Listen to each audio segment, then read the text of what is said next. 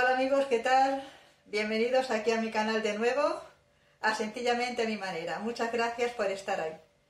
Ayer edité un vídeo de cómo hago yo a mi manera un frappé de sandía. En esta ocasión voy a hacer el frappé de melón.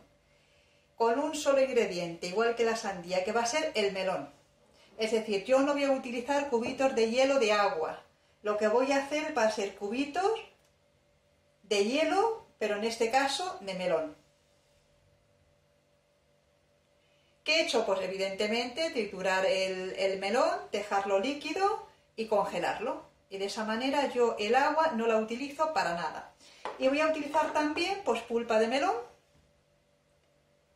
Las cantidades os las voy a dejar en la caja de información, eh, así como cualquier cosa que se me pueda olvidar. Pero vamos, todo va al gusto, es decir, la cantidad de cubitos de, de hielo de melón al gusto y la cantidad de pulpa va al gusto y lo único que hay que hacer es, mm, si por ejemplo el melón, pues para vuestro gusto no está muy dulce, podéis añadirle azúcar o cualquier otro tipo de endulzante.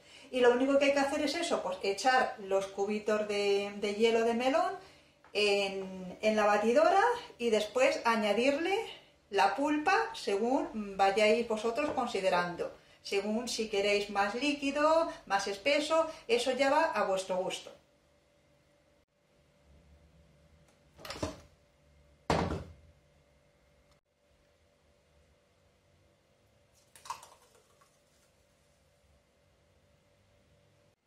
Bueno amigos, pues así ha quedado ya este frappé delicioso y fresquísimo de melón.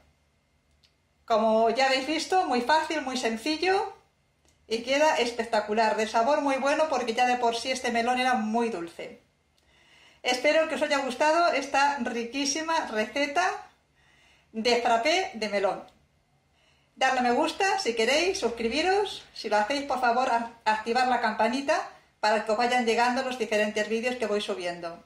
Y compartirlos si queréis entre vuestras redes sociales. Nos vemos en el próximo vídeo amigos, que tengáis un buen día, gracias por estar ahí.